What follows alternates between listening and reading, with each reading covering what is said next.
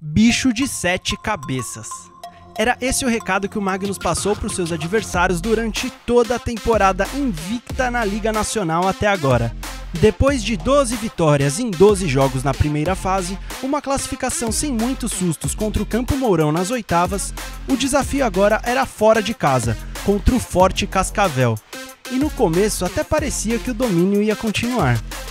Com menos de 5 minutos, o Charuto fez uma linda tabela com o Leandro Lino para abrir o placar. Bela rolada, Leandro voltou para ele! O Cascavel empatou com esse gol do Biel, que tinha acabado de entrar e aproveitou a cobrança rápida de escanteio.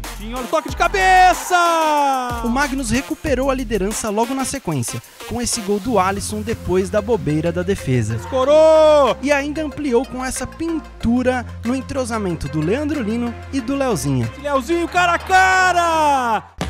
Perdendo por dois gols de diferença, contra um dos melhores times do mundo.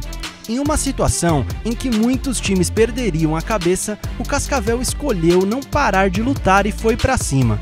E ainda contou com uma ajudinha do Magnus nos minutos finais para buscar o resultado.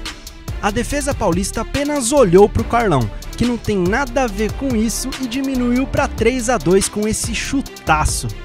O empate saiu com o Zequinha, que aproveitou outra marcação ruim do Magnus para fazer 3 a 3 uma recompensa para o esforço de um time que brigou muito para correr atrás do prejuízo e agora está a uma vitória das semifinais. O Magnus precisa ganhar no jogo de volta em Sorocaba para avançar direto.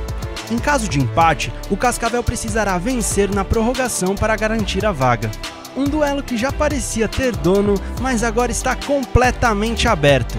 E se existe uma certeza no mundo do futsal, é que tudo pode acontecer.